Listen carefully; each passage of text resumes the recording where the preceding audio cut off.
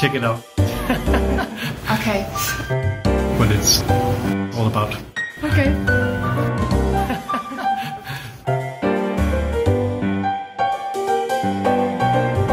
I think of a school that's full of life. Meeting a lot of international people. cozy atmosphere. Rain, wind, and work. Small city.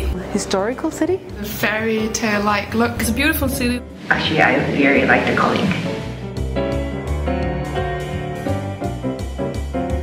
The people. People, People People are so nice.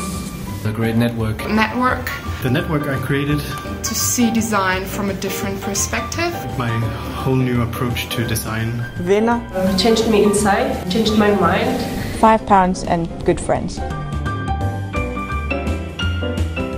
My dream job would be to be working in uh, my own agency. working full time with illustration. Fashion brand. A design teacher. Creating and developing brands. Small animation slash digital agency. Jeg kommer til at arbejde med at udvikle leg, Helping other people to get a better life.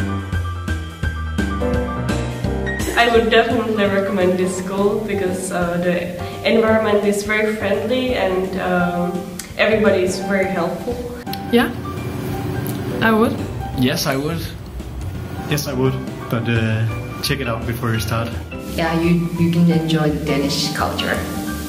And also it learns you how to drink coffee as a Danish people. That's it.